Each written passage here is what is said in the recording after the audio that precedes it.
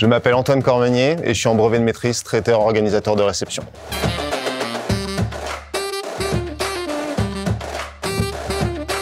Mon métier de ouf, c'est traiteur organisateur de réception. Ça consiste à hum, créer l'ensemble des choses qui vous permettent de passer un bon événement à un bon moment. Dans le cadre de la cuisine, dans le cadre de la famille, pour un mariage, un événement, des choses qui peuvent être aussi bien institutionnelles que privées. Et donc, euh, c'est ce qui rend ce métier super intéressant.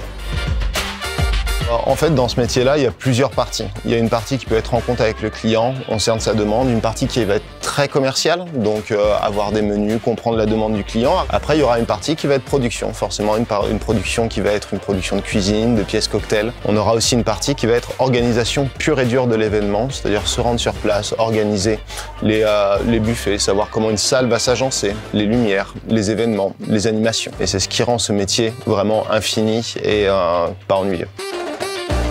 En fait, ce diplôme, à l'image de son métier, est très versatile et nous permet de faire exactement tout ce qu'on veut. Si toi aussi tu as envie de faire un métier de ouf, vas-y, contacte-nous.